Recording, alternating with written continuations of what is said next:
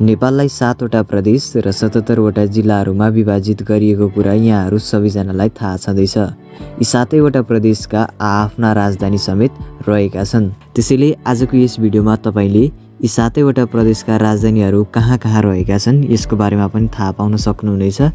साथै यी राजधानीहरूलाई कसरी मेमोराइज गर्न सकिन्छ यसको बारेमा पनि तपाईँले थाहा पाउन सक्नुहुनेछ। आउनुहोस् आजको यस भिडियोलाई सुरु गरौँ।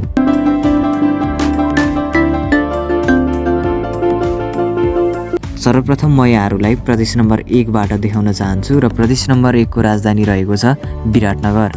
विराटनगर प्रदेश नम्बर एककै सबैभन्दा ठुलो सहर समेत रहेको छ। यो प्रदेश औद्योगिक क्षेत्रमा पनि एकदमै प्रख्यात सहर भनेर चिन्ने गरिन्छ। यसको क्षेत्रफल अन्ठाउन्न दशमलव चार आठ वर्ग किलोमिटर रहेको छ। त्यस्तै गरेर प्रदेश नम्बर दुईतर्फ लागौँ। प्रदेश नम्बर दुई जुन सबैभन्दा सानो प्रदेश समेत रहेको छ। प्रदेश नम्बर दुईको राजधानी रहेको छ जनकपुर। जनकपुर भने धनुषा जिल्लामा अवस्थित रहेको छ। यो सहर एकदमै धार्मिक र सांस्कृतिक महत्त्वका लागि एकदमै प्रख्यात सहर रहेको छ। यसको क्षेत्रफल भने सय दशमलव दुई वर्ग किलोमिटर रहेको छ।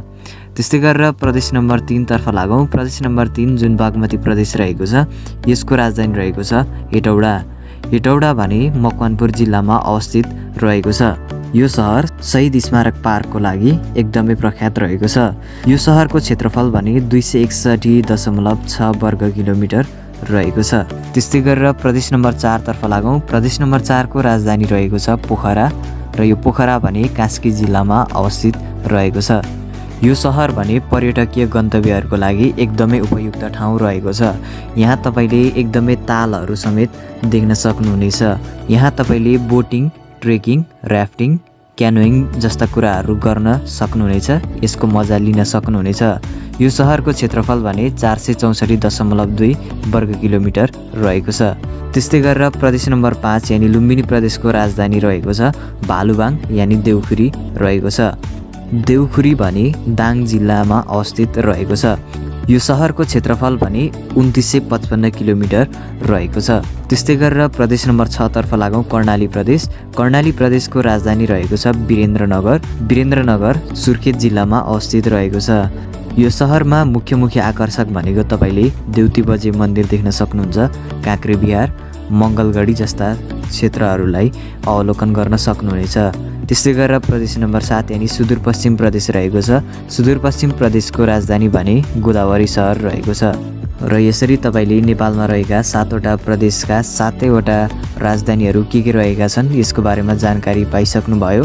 अब भने तपाईँलाई मेन भनेको यी सातैवटा राजधानीहरूलाई चाहिँ कसरी याद गर्न सकिन्छ त्यसको बारेमा पनि जानकारी दिनुपर्ने हुन्छ।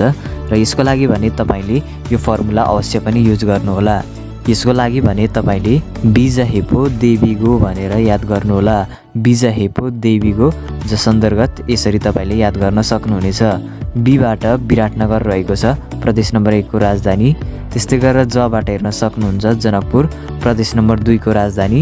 त्यस्तै गरेर हेबाट हेर्न सक्नुहुन्छ हेटौडा प्रदेश नम्बर तिनको राजधानी।